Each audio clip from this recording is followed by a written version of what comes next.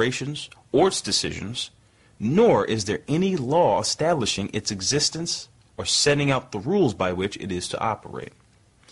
Any inquiries into its operations under the Freedom of Information Act, or even injunctions filed in federal court to protect the lives of Americans who are on this kill on sight target list, are immediately denied, with the Obama administration's lawyers invoking state secrets to justify refusal or disclosure. In fact, this kind of injunction was filed in late 2010 by al-Awlaki's father, a full year before his son's assassination. I have two words for you predator drones. You will never see it coming.